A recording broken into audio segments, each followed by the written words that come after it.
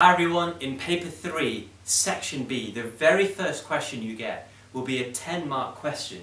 Assess something using data. Maybe it's assessing some economic theory, maybe it's assessing the impact of a policy, maybe it's assessing the macroeconomic performance of a country or multiple countries.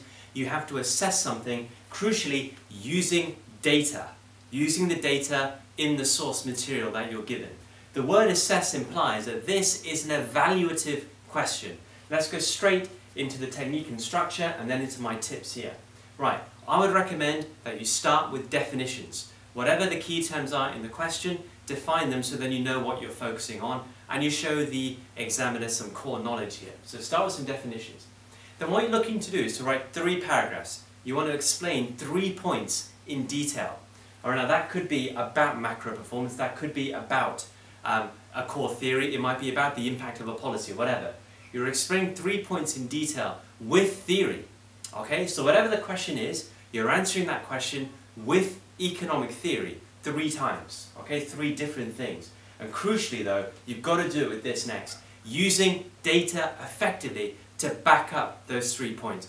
I know maybe the question is about assessing the impact of monetary policy. And you've got data about growth right? So you'd explain the link between expansionary monetary policy, let's say, and economic growth. So there's your, there's your point, there's your theory, right? You then use data to back it up. So you say, well look, look at the impact of growth in these, in these quarters of this year. Clearly that's the sign of monetary policy working, right? So that could be a point that you make. So whatever point you're making, you've got to back it up with data.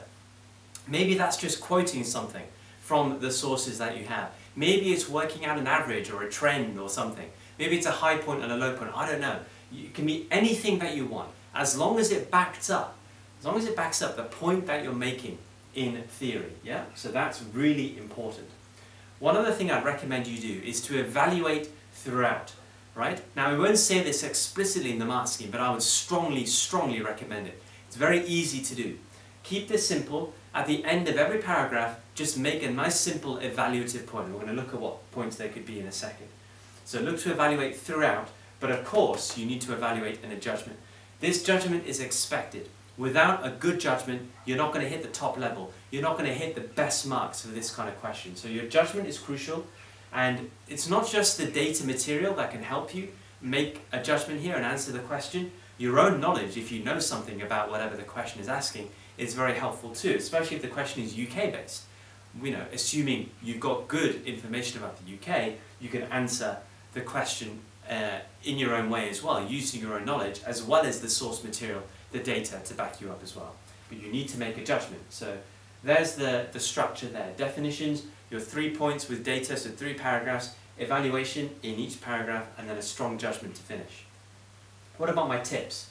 When you're explaining, you're explaining theory, aren't you? You're explaining the theory of what the relationship is from whatever the question is asking to the data that you have. So think chains when you're explaining your theory, explaining why the data is the way it is. Your data has got to be backing up the point that you're making. I've already said that, so make sure that that is the case. And just a key tip here, the points that you make can be on either side of the debate. So it could be, if the question is about assessing the impact of monetary policy on growth. So your point could be, well look, you know, here's how it's worked. Another point could be, well, there's some data here which says it hasn't worked. And going through the theory why.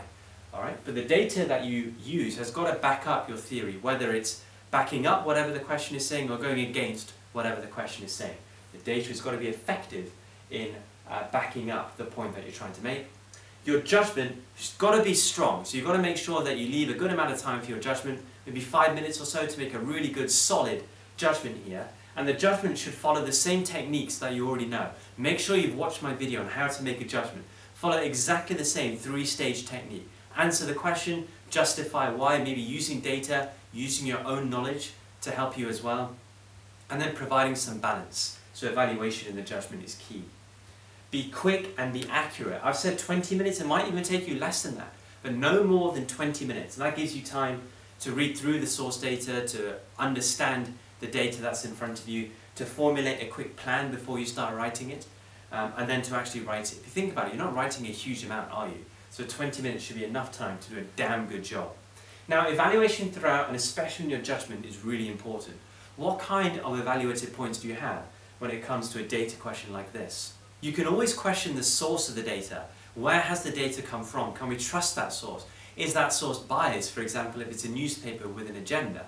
Um, is that source reliable, trustworthy? Is there a source there for the data? Maybe there isn't a source, in which case you can critique that and say, well, hang on, we don't know where this has come from. Can we really trust it? Is the source varied or is it very narrow focused? If it's very narrow, maybe you're thinking, hmm, it's a bit tough to make a very important judgment on such a narrow bit of data. Um, the time period, so is it just a snapshot of data from one year or two years, maybe a month or two's worth of data? You can question the time period and whether it's too narrow with the time period that we're looking at. Um, maybe the number of countries you can question as well. Is there only a few countries that have been used to make a comparison? Is that good enough to then form a judgment around it? So you can always evaluate the number of countries. Are there any other factors that can explain the relationship that maybe you know, the data doesn't include? You can always bring that into, uh, into account when it comes to evaluating. Therefore, is there a need for other data to actually answer this question properly? You know, in which case, what data do we need? Write it down. You know, what data would you like? Write it down.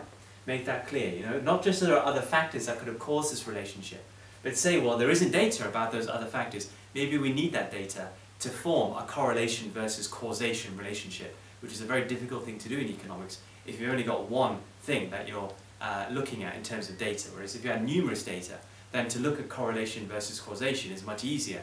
You can form a judgment much better. So these are good evaluation points whenever you're assessing data Always look out for these in your 10 marker. They will always apply somewhere. And that will really help you make a judgment and to evaluate your points throughout the essay.